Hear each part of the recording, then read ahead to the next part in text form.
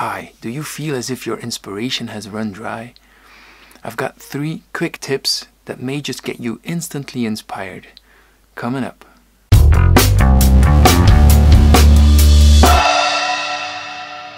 So you grabbed your guitar and you start playing some random notes and chords, but there's nothing going on, no spark, no ideas, no inspiration. Here are three things you can try. Number one, use a capo.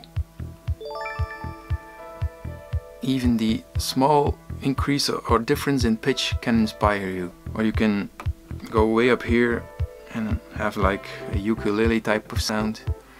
Just try it.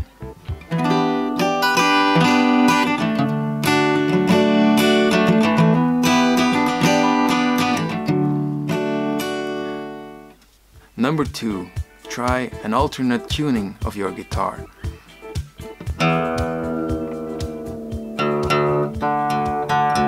Like the simple drop D.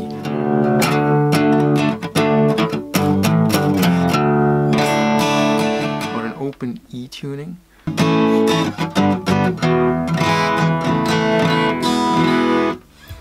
Number three, learn a new chord. Search the web for a list of guitar chords and learn a new one. I really doubt you know all of them. But if you do, you will have no problem with today's question. Can you name this chord?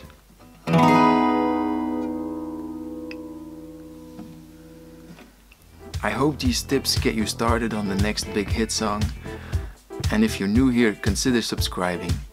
Now stop watching and go make some music.